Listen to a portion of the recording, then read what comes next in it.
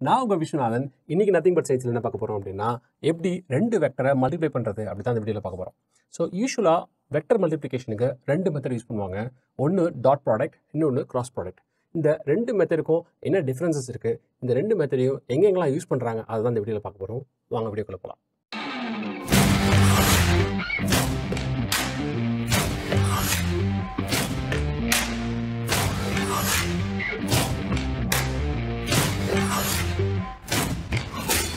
First நம்ம என்ன பார்க்க போகிறோம் டாட் ப்ராடக்ட் அப்படின்னு என்ன பார்த்தலாம் டாட் ப்ராடக்ட் அப்படின்னா இப்போ ஒரு இப்படி ரெண்டு வெக்டர் இருக்குன்னு வச்சுப்போம் இப்படி ஒரு வெக்டர் இருக்குது ஏ வெக்டர் இப்படி ஒரு வெக்டர் இருக்குது பி வெக்டர் இதுக்கு இடையில வந்து ஒரு தீட்டா அப்படின்ற ஒரு ஆங்கிளில் இருக்குன்னு வச்சுப்போம் இந்த மாதிரி ஒரு ரெண்டு வெக்டர் இருக்குது இந்த ரெண்டு வெக்டருக்கு நம்ம வந்து எப்படி டாட் டாட் ப்ராடக்ட் கண்டுபிடிக்கலாம் அப்படின்னா A dot B is equal to அதாவது magnitude of A multiplied by magnitude of b into cosine theta between them. So இந்த ஈக்குவேஷன் நம்ம வந்து ஃபஸ்ட்டு பார்க்குறப்பவே நமக்கு வந்து ஃபஸ்ட்டு ஒரு கொஷின் வரும். ஏன் இந்த காஸ் தீட்டா அப்படின்றத ஒரு கொஷின் வரும். ஏன்னா மல் டாட் ப்ராடக்ட் அப்படின்னாலே ஜஸ்ட் இந்த ரெண்டு வெக்டரும் மல்டிப்ளை பண்ண வேண்டியது ஏன் வந்து ஒரு காஸ் தீட்டா வந்து ஒரு எக்ஸ்ட்ரா ஒரு டேர்ம் வருது அப்படின்ற ஒரு டவுட் வரலாம். ஃபஸ்ட்டு அதை வந்து ஒரு எக்ஸாம்பிளோட பார்க்கலாம். அதை பார்த்தோம்னா நமக்கு டெஃபினட்டாக புரியும். இப்போ வந்து லெட்ஸே ஒரு இப்படி ஒரு டேபிள் இருக்குன்னு வச்சுப்போம் இந்த டேபிளை வந்து ஒரு ரெண்டு பேர் தள்ளுறாங்கன்னு வச்சுப்போம் அதாவது ஏ வந்து இப்படி தள்ளுறாரு. இவர் ஏ இங்கே இங்கே இருக்கிற மாதிரியே நான் வரைகிறேன். பி வந்து இந்த மாதிரி தள்ளுறாருன்னு வச்சுப்போம் இப்படி தள்ளுறாரு. ஸோ பி வந்து ஒரு ஆங்கிளாக தள்ளுறாரு. அப்போ என்ன ஆகுதுன்னா ஏ ஏவோட ஃபோர்ஸ் வெக்டர் பார்த்தீங்கன்னா எக்ஸாக்டாக அரிசான்டலாக எக்ஸ் ஆக்சிஸில் மட்டும்தான் இருக்குது ஒய் ஆக்சிஸில் அவருக்கு எதுவுமே இல்லை. வேறஸ் பியோட ஃபோர்ஸ் வெக்டர் நம்ம பார்த்தோம் அப்படின்னா அவருக்கு வந்து ரெண்டு காம்பனண்ட் இருக்கிறத பார்க்கணும் அதாவது எக்ஸ் காம்பனண்ட் ஒன்று இருக்குது ஒய் காம்பனண்ட் ஒன்று இருக்குது இப்படி ஏன்னா ஒரு ஆங்கிளாக தள்ளுறாரு. ஸோ எப்பப்பெல்லாம் நமக்கு வந்து இந்த மாதிரி ஒரு ஆங்கிள் வருதோ அப்போ நமக்கு வந்து அந்த வெக்டருக்கு ஒரு எக்ஸ் காம்பனண்ட் இருக்கும் ஒய் காம்பனண்ட்டும் இருக்கும். ஸோ அப்போ பியை வந்து நம்ம எக்ஸ் காம்பனண்ட் எவ்வளோ இருக்குன்றதை கண்டுபிடிச்சி அதை வந்து ஏவோட மல்டிப்ளை பண்ணால் தான் நமக்கு வந்து ஃபைனல் நமக்கு வந்து டாட் ப்ராடக்ட் கிடைக்கும். அதனால தான் இந்த காஸ்திட்டா ஸோ இந்த ஏ டாட் பி டாட் காஸ்திட்டாவை நீங்கள் எப்படி பார்க்கலான்னா இது எப்படி எழுதலாம்னா A dot B cos theta அப்படின்னு சொல்லலாம் or B dot A cos theta அப்படின்னு சொல்லலாம். ஸோ இது ஒரு ஒரு வெக்டர் எடுத்து அதோட ஒரு காசிட்டாவோட நம்ம வந்து மல்டிப்ளை பண்ணுறப்ப நமக்கு வந்து அந்த வெக்டருடைய எக்ஸ் காம்பனண்ட் கிடச்சிரும். அப்போ நமக்கு வந்து ரிசல்ட் வர்றது வந்து ஒரு ஃபைனல் ஒரு நம்பர் கிடைக்கும். ஸோ அந்த மாதிரி ஒரு ஒரு நமக்கு இந்த இந்த இதை ப்ராடக்ட் பண்ணுறப்ப நமக்கு ஒரு நம்பர் வருது இல்லையா? அதனால தான் இந்த டாட் ப்ராடக்ட் வந்து ஸ்கேலார் ப்ராடக்ட்னு சொல்லுவாங்க. சரி இப்போ நம்ம என்ன பண்ணலாம்? சப்போஸ் இந்த பி வெக்டர் வந்து ஒரு ஆங்கிளாக தள்ளாமல் இவரும் ஏ வெக்டர் மாதிரி கரெக்டாக அதே டேரெக்ஷனில் பேரலாக தள்ளலாம்னா என்ன ஆகுதுன்னு பார்ப்போம். ஸோ இதே எக்ஸாம்பிள் தான். இப்போ நான் என்ன பண்ண போகிறேன் இப்படி இருக்குது இப்போ வந்து ஏ வெக்டர் இப்படி தள்ளுறாரு. பியும் இதே மாதிரி தள்ளுறாருன்னு வச்சுப்போம் அதாவது ஏவும் பியும் பேரலாக ஒரே டேரக்ஷனில் தள்ளுறாங்க. அப்படின்னா டெஃபினட்டாக அவங்க ரெண்டு பேருக்கும் ஒரு ஆங்கிளே இல்லை. ஆர் ஆங்கிள் வந்து ஜீரோன்னு கூட சொல்லலாம். ஸோ அப்போ நமக்கு தீட்டா வந்து ஜீரோ அப்படின்னு ஆகிறப்ப நமக்கு என்ன ஆகும்னா நமக்கு வந்து இவங்க இவங்க ரெண்டு பேர் ரெண்டு பேருக்குமே ஒய் காம்பனண்ட் கிடையாது. ஸோ அப்போ நம்ம ஒய் காம்பனண்ட் கண்டுபிடிக்க வேண்டிய அவசியமும் இல்லை. ஸோ அப்போ என்ன ஆகும்? A vector dot B vector என்ன வரும்னா வெறும் ஏ டாட் பி அப்படின்னு வரும். ஸோ எப்போ வந்து நம்ம ரெண்டு வெக்டர் வந்து வெறும் ஏ டாட் பி வந்து யூஸ் பண்ணலாம் அப்படின்னா அந்த வெக்டர் வந்து பேரலாக இருந்தால் டெஃபினட்டாக நம்ம ஏ டாட் பி தான் வரும். ஏன்னா அதனுடைய ஒய் காம்பனண்ட்டே கிடையாது. ஸோ அப்போ நம்ம ஏ டாட் பின்னு வரும். ஏன்னா காஸ் தீட்டாக்கு காஸ் ஜீரோ நீங்கள் அப்ளை பண்ணலாம் நமக்கு ஒன்னு வந்துடும் ஸோ அதனால தான் இங்கே ஏ டாட் பி மட்டும் வருது. சப்போஸ் இப்போ வந்து இந்த ஏவும் பியும் நைன்டி டிகிரியில் அப்பார்ட்டில் இருந்தாங்கன்னா என்ன ஆகுதுன்னு பார்ப்போம். அதாவது ஏ இப்படி இருக்காரு. பி இப்படி இருக்காருன்னு வச்சுப்போம். ஆங்கிளாக இல்லை. அதாவது பார் இவர் நார்த்தில் இருக்கார் இவர் ஈஸ்ட் டேரக்ஷனில் இருக்கார். அப்படி இருக்காருன்னு வச்சுப்போம். அதாவது தீட்டா வந்து லெட்ஸே நைன்டி டிகிரியில் ரெண்டு பேரும் இருக்காங்க அப்படின்னா என்ன ஆகும்னா இப்போ இவருக்கு வந்து ஒய் காம்பனன்ட் மட்டும்தான் இருக்குது எக்ஸ் காம்பனண்ட்டே கிடையாது. பிக்கு வந்து ஒய் காம்பனண்ட் மட்டும் தான் இருக்குது எக்ஸ் காம்பனன்ட் இல்லை. ஏக்கு வந்து எக்ஸ் காம்பனன்ட் மட்டும் தான் இருக்குது ஒய் காம்பனன்ட் சுத்தமாக இல்லை. அப்போ ஆக்சுவலாக இந்த ரெண்டு வெக்டரும் நம்ம வந்து மல்டிப்ளை பண்ணவே முடியாது. மல்டிப்ளை பண்ணால் நமக்கு ஜீரோ தான் வரணும். காஸ் நைன்ட்டி நீங்கள் அப்ளை பண்ணிங்கன்னா நமக்கு ஜீரோன்னு வரும். ஸோ அப்போ A vector dot B vector is equal to ஜீரோன்னு சொல்லலாம். ஏன்னா காஸ் நைன்ட்டி வந்து நமக்கு ஜீரோன்னு வந்துடும் ஸோ அப்போ இந்த மாதிரி ரெண்டு பெர்பண்டிகுலர் வெக்டர் நம்ம மல்டிப்ளை பண்ணால் நமக்கு ஜீரோ தான் வரும். இன் அதர் வேர்ட்ஸ் எப்பப்பெல்லாம் ரெண்டு வெக்டர் வந்து நம்ம டாட் ப்ராடக்ட் கண்டுபிடிச்சி ஜீரோன்னு வந்துச்சுன்னா அது வந்து ஒரு பெர்பண்டிகுலர் வெக்டர் அப்படின்னு நம்ம ஐடென்டிஃபை பண்ணிக்கிறதுக்கே இது வந்து ஒரு அப்ளிகேஷன் நமக்கு யூஸ் ஆகும். ஸோ நிறைய இடத்துல வெக்டர் மல்டிப்ளிகேஷனில் நமக்கு டாட் ப்ராடக்ட் ஜீரோன்னு வந்துச்சுன்னா அந்த வெக்டர் வந்து பெர்பெண்டிகுலர் வெக்டர்னு வந்து நம்ம டிசைட் பண்ணிக்கலாம். இந்த மாதிரி ஒரு டாட் ப்ராடக்ட்டை எங்கே வந்து ரியல் வேர்ல்டில் யூஸ் பண்ணுறாங்க அப்படின்றத பார்க்கலாம். யூஸ்வலாக வந்து பார்த்தீங்கன்னா இந்த ஒர்க் கண்டுபிடிக்கிற இடத்துல வந்து இந்த டாட் ப்ராடக்ட் யூஸ் பண்ணுவாங்க. ஸோ ஒர்க் எப்படி கண்டுபிடிப்பாங்கன்னா force vector dot product of force vector into displacement vector இப்போ இந்த ஒர்க்னுடைய மேக்னிடியூட் எனக்கு வேணும் அப்படின்னா இந்த எஃப் வெக்டர்னுடைய magnitude dot product D வெக்டனுடைய magnitude dot cos theta so இந்த மாதிரி ஒர்க் கண்டுபிடிக்கிற இடத்துல நம்ம வந்து டாட் ப்ராடக்ட் யூஸ் பண்ணிட்டு தான் இருக்கோம். அடுத்தது நம்ம கிராஸ் ப்ராடக்ட்னா என்ன? அதை எங்கே யூஸ் பண்ணுறாங்கன்றது பார்க்கலாம்.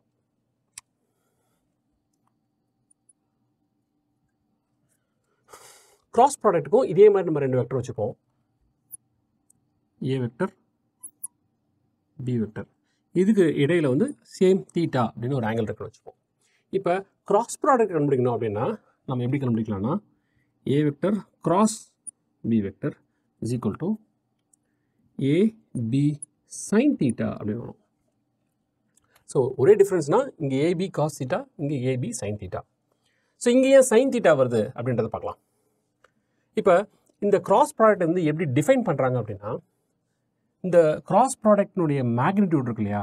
அது வந்து எதுக்கு ஈக்குவலாக இருக்கும்னா இந்த ரெண்டு வெக்டரும் ஃபார்ம் ஆகிற ஒரு பேரலோகிராம் ஃபார்ம் ஆகுது இல்லையா? அந்த பேரலோகிராம்னுடைய ஏரியாக்கு ஈக்குவலாக இருக்கும் அப்படின்னு சொல்கிறாங்க ஸோ இப்போ இந்த இடத்துல எப்படி பேரலோகிராம் ஃபார்ம் ஆகுதுன்னு பார்க்கலாம். ஸோ இப்போ இந்த பி வெக்டருக்கு நான் பேரலாக அப்படி ஒரு லைன் வரைஞ்சிக்கிறேன். அதே மாதிரி ஏ இந்த ஏ வெக்டருக்கு ஒரு பேரலாக லைன் வரைஞ்சிக்கிறேன். ஸோ இந்த இடத்துல ஒரு பேரலோகிராம் ஃபார்ம் ஆகுது இல்லையா? இந்த இந்த ஏரியாவை தான் ஏ கிராஸ் பியோட மேக்னட்யூட் அப்படின்னு சொல்கிறாங்க ஸோ இதுதான் கிராஸ் ப்ராடக்டோட டெஃபினேஷன் ஸோ ரெண்டு வெக்டர் இருக்குது அதுக்கு ஒரு ஆங்கிள் தீட்டா இருக்குது இந்த ரெண்டு வெக்டர்னால ஃபார்ம் ஆகிற ஒரு பேரலோகிராமினுடைய ஏரியா இருக்கு இல்லையா? அந்த ஏரியாவை தான் நம்ம கிராஸ் ப்ராடக்டினுடைய மேக்னிடியூட் அப்படின்னு டிஃபைன் பண்ணுறாங்க ஸோ ஒரு பேரலோகிராமுக்கு எப்படி ஏரியா கண்டுபிடிக்கிறது? அப்படின்றத பார்க்கலாம். ஸோ இப்படி ஒரு பேரலோகிராம் இருக்குது ஸோ இந்த சைடு வந்து லெட்ஸே இந்த சைடு வந்து ஏன்னு வச்சுப்போம் இந்த சைடு வந்து பின்னு வச்சுப்போம். பேரலோகிராம் ஃபார்முலா பார்த்தீங்கன்னா a is equal to A B sine theta அப்படின்னு சொல்லுவாங்க. இந்த சைன் தீட்டா எப்படி வருதுன்னா அகெயின் இப்போ நமக்கு வந்து இந்த ஹைட் கண்டுபிடிக்கணும். அதாவது இன்னொரு ஏரியாவோட ஃபார்முலா இருக்குது ஏ இஸ் ஈக்குவல் டு இந்த base which is A into height இந்த ஹைட் இந்த ஹைட் எப்படி வரும் அப்படின்னா இப்போ இதுதான் ஒரு தீட்டான்னு வச்சுப்போம் இந்த தீட்டா தான் இந்த தீட்டா ஸோ எனக்கு இந்த ஹைட் வேணும். இந்த ஹைட் வேணும் அப்படின்னா அதாவது ஒய் காம்பனண்ட் வேணும். எனக்கு ஒய் காம்பனண்ட் வேணும் அப்படின்னா அந்த பி வேல்யூட சைன் தீட்டாவோட நான் மல்டிப்ளை பண்ணோன்னா எனக்கு வந்து ஒய் ஒய் வேல்யூ வந்துடும் ஸோ இந்த இடத்துல இது எப்படி எழுதலாம்னா ஏ அப்படியே எழுதிக்கிறேன். இந்த ஹெச் பதில் பி இன்ட்டு சைன் தீட்டான்னு வந்துடும் ஸோ இதனால தான் இந்த ஃபார்முலாலேயும் நமக்கு ஏபி சைன் தீட்டான்னு வருது. ஏன்னா இது ஒரு பேரலோகிராம் ஃபார்ம் ஆகுது. அந்த பேரலோகிராமினுடைய ஏரியா கண்டுபிடிக்கிறதுனால நமக்கு வந்து இந்த பேரலோகிராம் ஏரியா ஃபார்முலா யூஸ் பண்ணுறதுனால தான் நமக்கு இந்த சைன் தீட்டா வருது. இப்போ கிராஸ் ப்ராடக்ட்டுக்கு இதே மாதிரி ஜீரோ டிகிரியில் இருக்குது அப்படின்னா என்ன ஆகுதுன்னு பார்க்கலாம். ஸோ ரெண்டு வெக்டர் இருக்குது இப்போ வந்து ஏ வெக்டர் இருக்குது லெட்ஸே பி வெக்டரும் அதே டைரக்ஷனில் இருக்குது இது ஏ வெக்டர்னு வச்சுப்போம். இது பி வெக்டர்னு வச்சுப்போம். தீட்டா வந்து ஜீரோ டிகிரியில் இருக்குது இப்போ தீட்டா வந்து ஜீரோ டிகிரியில் இருந்துச்சு அப்படின்னா நமக்கு வந்து என்ன ஆகும்? சைன் ஜீரோன்றது ஜீரோ ஆகிடும் அப்போ cross product of two vectors அதுவும் ஒரே டேரக்ஷனில் இருக்குது அப்படின்னா நமக்கு வந்து ஜீரோ அதாவது அந்த அந்த வெக்டர் நம்ம கிராஸ் ப்ராடக்ட் பண்ணவே முடியாது. நமக்கு ஜீரோ தான் ரிசல்ட்டாக வரும். ஸோ இந்த மாதிரி டைமில் ஏ டாட் பி வந்து ஜீரோன்னு வரும். ஸோ இந்த இடத்துல நமக்கு நைன்டி டிகிரியில் நமக்கு வந்து டாட் ப்ராடக்ட்டில் ஜீரோ ஆச்சு. ஆனால் இப்போ இந்த இடத்துல ஜீரோ டிகிரியில் நமக்கு கிராஸ் ப்ராடக்ட் வந்து ஜீரோ ஆகுது. சாரி இந்த இடத்துல டாட் கிடையாது கிராஸ் இப்போ அடுத்ததாக தீட்டா நைன்டி டிகிரியில் இருக்கிறப்ப என்னுடைய வேல்யூ மேக்னிடியூட்னா அதுன்னு பார்ப்போம். அதாவது ஏ வெக்டர் எப்படி இருக்குது நைன்டி டிகிரியில் பி வெக்டர் இருக்குது ஸோ பர்ஃபெக்ட் நைன்ட்டியில் இருக்குது அப்படின்னா ஸோ நமக்கு என்ன ஆகும்னா A cross B is equal to A into B அப்படின்னு வரும். ஸோ ஏன்னா சைன் நைன்ட்டி நம்ம அப்ளை பண்ணோம்னா நமக்கு வந்து ஒன்னு ஆகிடும் ஸோ அப்போ நமக்கு மேக்ஸிமமாக இந்த நைன்டி டிகிரியில் நமக்கு ஏ கிராஸ் பி வந்து நமக்கு மேக்ஸிமமாக இருக்கும். அதனால தான் வெறும் ஏ டாட் பின்னு வந்திருக்கு. ஸோ இந்த இடத்துல ஏ டாட் பி எப்போ வந்துச்சுன்னா தீட்டா ஜீரோ இருக்கப்போ நமக்கு வந்து டாட் ப்ராடக்ட் வந்து ஏ டாட் பின்னு வந்துச்சு. இங்கே வந்து நைன்டி டிகிரியில் வந்து இது வந்து ஏ டாட் பின்னு வருது. சரி இப்போ இது வரைக்கும் நம்ம என்ன பார்த்துருக்கோம் அப்படின்னா கிராஸ் ப்ராடக்ட்னுடைய எப்படி மேக்னிடியூட் கண்டுபிடிக்கிறது அப்படின்ற மாதிரி தான் பார்த்தோம். ஸோ கிராஸ் ப்ராடக்ட்னுடைய ரிசல்ட் இருக்கு இல்லையா? அந்த ஏ கிராஸ் பின்றதே ஒரு வெக்டர் தான். ஸோ அப்போ டெஃபினட்டாக அதுக்கு ஒரு டைரக்ஷனும் இருக்கும். அது டைரக்ஷன் பற்றி பார்க்கலாம். ஸோ இந்த கிராஸ் ப்ராடக்ட் வந்து வெக்டர் அப்படின்னு சொல்கிறோம் அதாவது ஏ கிராஸ் பின்றதும் ஒரு வெக்டர் தான். ஸோ அப்போ இதனுடைய டைரக்ஷன் எப்படி இருக்கும் அப்படின்னு பார்த்தீங்கன்னா ஏ கிராஸ் பியோட டேரக்ஷன் வந்து ஏ வெக்டருக்கும் பெர்பெண்டிகுலராக இருக்கும் பி வெக்டருக்கும் பெர்பெண்டிகுலராக இருக்கும். அந்த மாதிரி ரெண்டு வெக்டருக்கும் பெர்பெண்டிகுலராக இருக்கிற ஒரு டேரக்ஷன் தான் ஏ கிராஸ் பியோட டேரக்ஷனாக இருக்கும் அப்படின்னு சொல்கிறாங்க இந்த டேரக்ஷன் கண்டுபிடிக்கிறதுக்கு ஒரு ரைட் ஹேண்ட் ரூல்னு ஒரு ரூல் இருக்குது அந்த ரூல் வச்சு நம்ம வந்து இந்த ஏ கிராஸ் பி கண்டுபிடிக்கலாம். ஸோ அதனால் அதுக்கு எப்படி பண்ணணும் அப்படின்னா ஸோ பேசிக்காக என்ன பண்ணணும்னா நீங்கள் வந்து இந்த இந்த ரைட் ஹேண்டை யூஸ் பண்ணிக்கிட்டு ஏ எந்த டேரக்ஷனில் இருக்கோ அந்த டைரக்ஷனில் நீங்கள் ஃபஸ்ட்டு பாயிண்ட் பண்ணிக்கணும். பாயிண்ட் பண்ணிக்கிட்டு இப்போ வந்து இந்த டிப் ஆஃப் த ஃபிங்கர் இருக்கு இல்லையா? இதை வந்து டுவோர்ட்ஸ் பி வந்து நீங்கள் கொண்டு போகணும். ஸோ அப்படி கொண்டு போகிறப்ப உங்களுடைய தம் எந்த டைரக்ஷனில் பாயிண்ட் ஆகுதோ அது அதுதான் நம்மளை வந்து ஏ கிராஸ் பியோட ஃபைனல் டேரக்ஷன் அப்படின்னு சொல்லலாம். ஸோ நான் இந்த இடத்துல வரைகிறேன். ஒரு ரெண்டு வெக்டர் எடுத்துப்போம். அதுக்கு வந்து இந்த ரைட் ஹேண்ட் ரூல் யூஸ் பண்ணி எப்படி டைரக்ஷன் வருதுன்றது பார்க்கலாம். ஸோ இப்படி ஒரு வெக்டர் இருக்குன்னு வச்சுப்போம். லெட்ஸே இப்படி ஒரு வெக்டர் இருக்குது இப்படி ஒரு வெக்டர் இருக்குன்னு வச்சுப்போம். அதாவது ஏ இது வந்து பி ஸோ இதனுடைய ஏ கிராஸ் பி எப்படி இருக்கும் அப்படின்னா ரெண்டு வெக்டருக்கும் பெர்பண்டிகுலராக இருக்கும். ஸோ ஏக்கு பேரலாக அப்படி ஒரு லைன் வச்சுக்கணும் பிக்கு பேரலாக அப்படி ஒரு லைன் வச்சுக்கணும் ஸோ அதனுடைய இன்டர்செக்ஷன் பாயிண்ட் இருக்கு இல்லையா? அதுதான் ஏ கிராஸ் பி ஸோ இது வந்து A vector cross B vector so இதை வந்து நீங்கள் ரைட் ஹேண்ட் ரூல் மூலியமாகவும் வெரிஃபை பண்ணலாம். ஸோ என்ன பண்ணணும்? ஃபஸ்ட்டு டுவர்ட்ஸ் ஏக்கு வந்து என்னுடைய பாம்பை பாயிண்ட் பண்ணிக்கணும். அடுத்தது இந்த டிப் ஆஃப் ஃபிங்கர் இருக்கு இல்லையா அதை வந்து டுவோர்ட்ஸ் பிக்கு நான் கேர்ள் பண்ணணும். ஸோ என்னுடைய தம்மை பாருங்கள் ஸோ நான் இப்போ வந்து இப்படி ஏ இப்படி வச்சுருக்கேன். நான் வந்து பி டுவோர்ட்ஸ் பி இப்படி கேர்ள் பண்ணுறப்ப என்னுடைய தம் வந்து என்னோட ரிசல்ட் வெக்டர்னுடைய டேரக்ஷனில் பாயிண்ட் பண்ணிட்டுருக்கேன் ஸோ இந்த மாதிரி இதுதான் நம்ம வந்து ரைட் ஹேண்ட் ரூல் சொல்லுவோம். ஸோ நம்ம இப்போ என்ன பண்ணலாம்? அடுத்தது இப்போ ஏ கிராஸ் பி கண்டுபிடிச்சோம் இல்லையா? இதே வெக் ரெண்டு வெக்டருக்கு நம்ம வந்து பி கிராஸ் ஏ என்ன வருதுன்னு பார்க்கலாம். ஸோ சேம் ஏ வெக்டர் அதே மாதிரி பி வெக்டர் இப்போ பி கிராஸ் ஏ கண்டுபிடிக்க போகிறோம் ஸோ பி கிராஸ் ஏ நமக்கு என்ன வரும் அப்படின்னா இப்படி வரும். பி கிராஸ் ஏ ஸோ ஒரு விஷயம் நம்ம வந்து இந்த ரெண்டு வெக்டருக்கும் நம்ம பார்க்குறப்ப ஏ கிராஸ் பி இப்படி போயிட்டுருக்கு. பி கிராஸ் பி வந்து இப்படி போயிட்டுருக்கு. ஸோ ஆப்போசிட் ஆப்போசிட் டேரக்ஷனில் போயிட்டு போயிட்டு இருக்கிறதுனால நம்மளால் வந்து A cross B is equal to B cross ஏன்னு சொல்ல முடியாது. ஸோ அதனால் இந்த ரெண்டு படத்தை வச்சு நம்ம ஒரு ஒரு டிசிஷன் நம்ம அரைவ் பண்ணலாம். என்னென்னா A cross B is not equal to B cross A so எப்போ வந்து நம்ம வந்து ஒரு வெக்டரை வந்து ரெண்டு வெக்டர் வந்து ஈக்குவல்னு சொல்லுவோம் அப்படின்னா அதனுடைய மேக்னிடியூட் சேமாக இருக்கணும் டேரக்ஷன் சேமாக இருக்கணும். ஸோ இப்போ இந்த இடத்துல மேக்னிடியூட் நமக்கு சேமாக தான் வந்திருக்கு. ஆனால் டேரக்ஷன் ஆப்போசிட்டில் இருக்கிறதுனால நம்மளால் வந்து ஈக்குவல்னு சொல்ல முடியாது.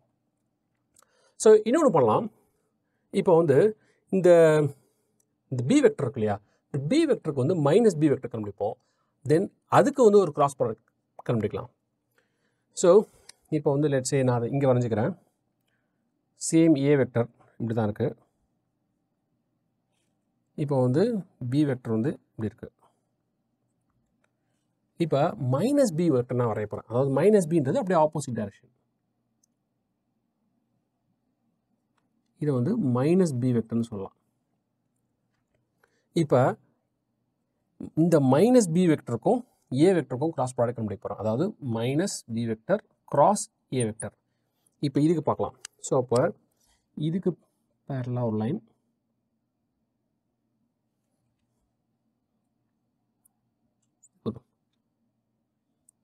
விட்டுறோம் ஸோ இந்த வெக்டர் தான் minus B vector cross A vector அப்படின்னு சொல்கிறோம்